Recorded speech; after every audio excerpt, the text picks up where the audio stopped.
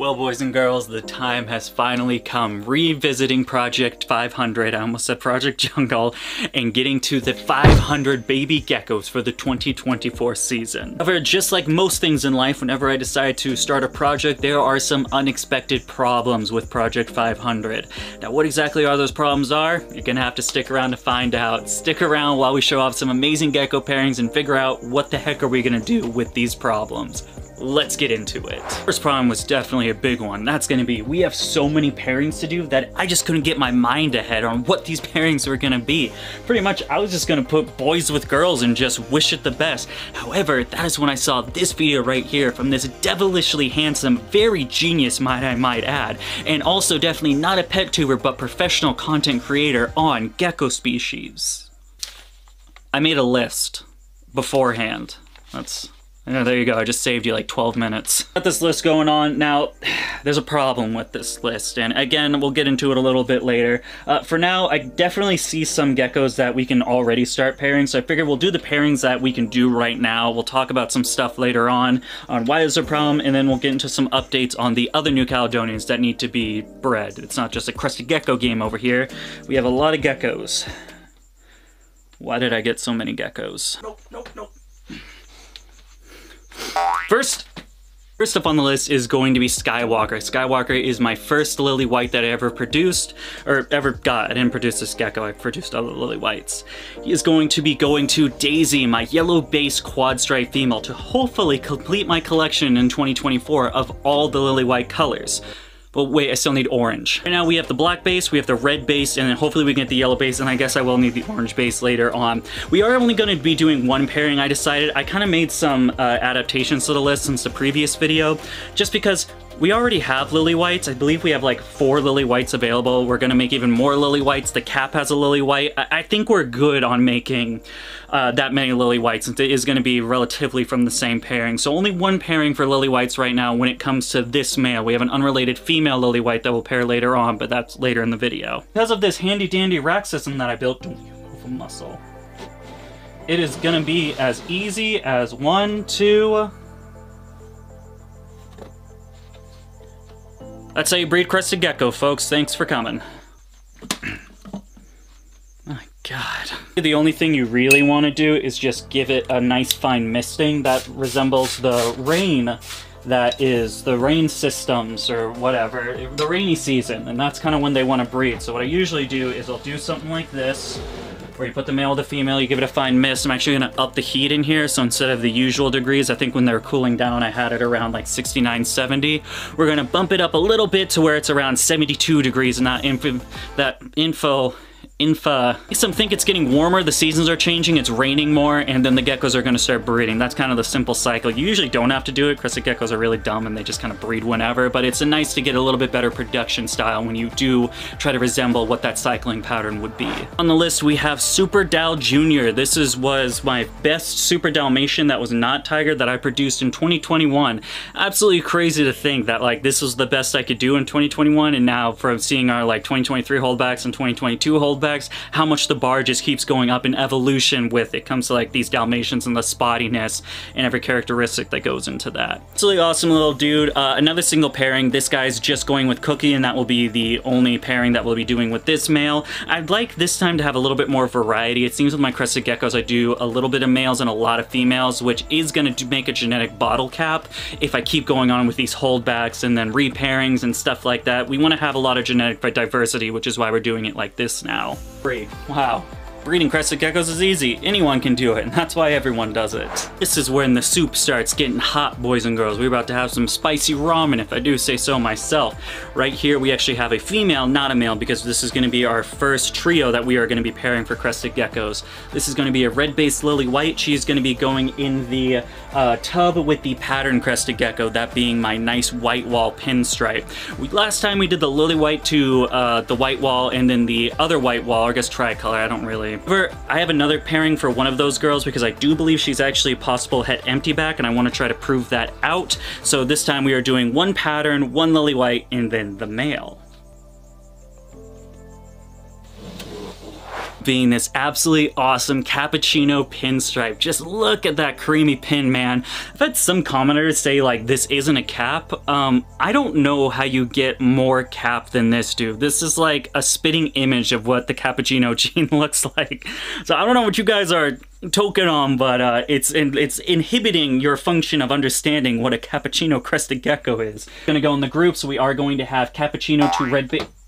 Cappuccino to red base lily white, and then also cappuccino to white wall pinstripes. So hopefully we get some nice high white cappuccino, and then also, of course, fraps. We're also getting some lily white, some cappuccinos, and then potentially some normals if I get really bad odds. Guys, we do this. I can't. Oh, oh, the tub, young man.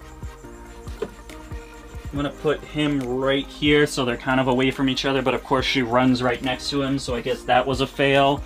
Missed it up and good to go.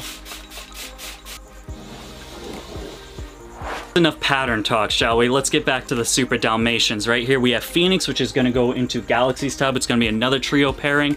This is another one we did a little bit of switch up from the last video when I originally made that list. Originally, we were going to do it with Ziggy. However, there are some problems. Number one, Ziggy hasn't made weight. He's around like 29 grams right now, which is a little on the small side than what I would like to breed one crested gecko, let alone a pair of females.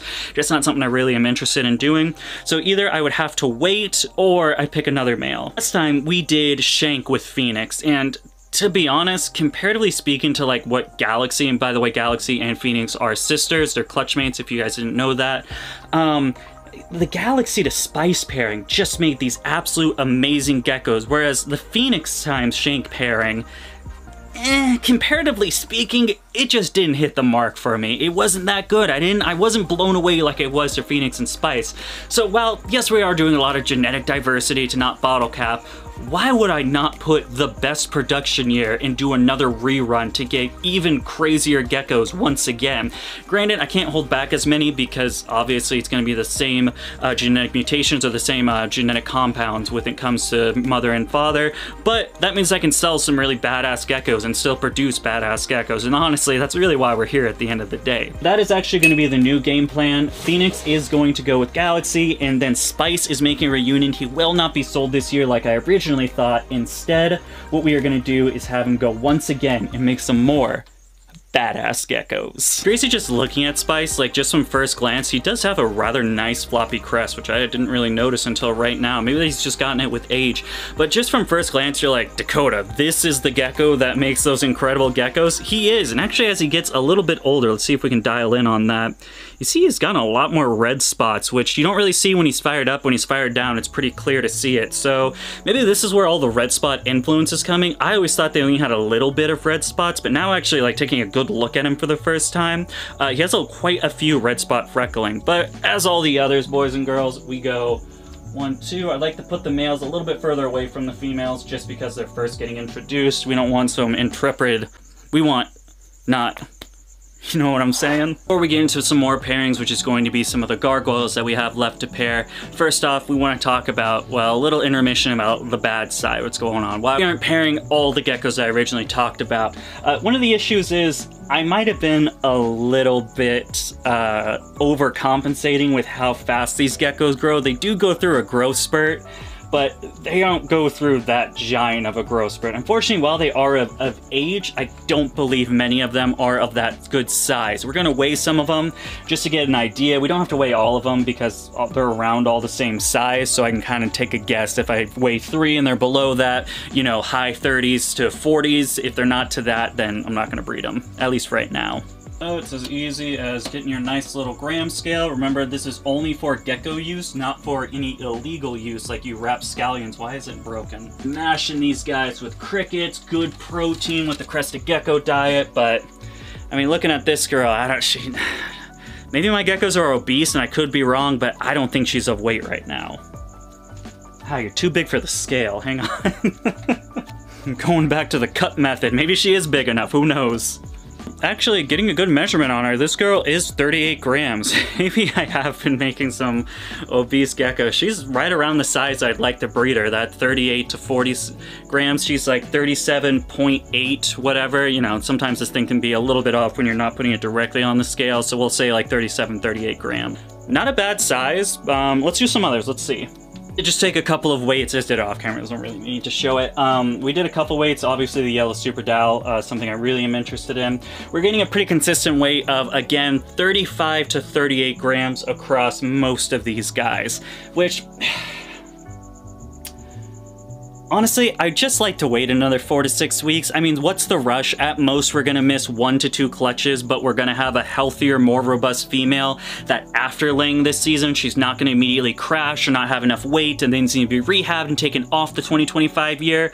I kind of just like to wait a little bit longer. We're talking about the health of the animal one clutch of eggs versus having a healthy animal that's going to thrive for longevity for your breeding projects, it's an easy choice. We are going to wait for these 2022 holdbacks. Unfortunately, the male is one that I was going to pair again to some of these 2021 girls. Ziggy was one of them. Ziggy was going to go to the yellow tiger, and then that really just absolutely all-star male was going to go to my bullseye female. So all those projects are just going to be on hold. Just lets them get a little bit more weight. And instead of that 35 to 38, I'd really like to see 39, 43. And I believe in a month of doing this crickets, doing this high protein diet, we can get there.